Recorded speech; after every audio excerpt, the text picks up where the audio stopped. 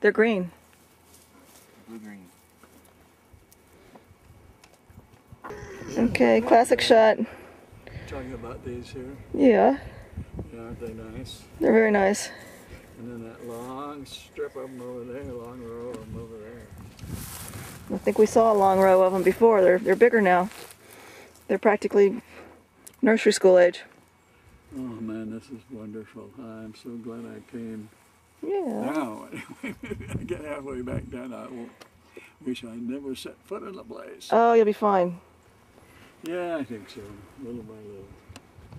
But this is.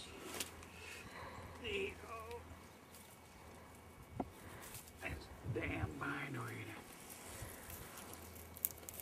Another crazy. Well, they got to thin out. I mean, you could oh, almost take a couple out just so that. dead stuff out. There.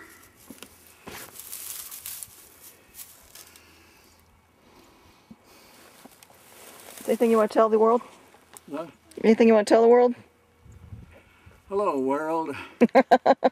We're practically out of it here. You're Out of the world? Yes. But I just almost rather be in this world than the real world sometimes. I kid you not. Yeah, I think Yeah, you're in this good is company. The place.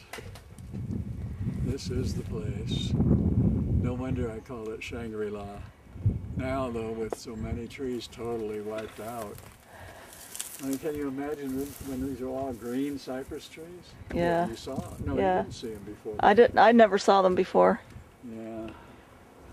I saw the ones way over there that were already drought diseased, having some, some real issues, but these were in pretty good shape. Rob, imagine how it was when these cypress trees were all green and lush. That's why I call this area Shangri-La.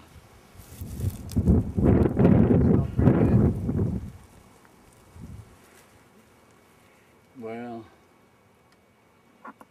What do you think these big ones are? oh gosh. I haven't a clue, but really, but a hundred or two hundred, who knows? Whoa!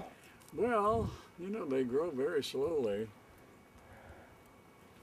These came up three years ago, the spring of '04, two and a half years ago.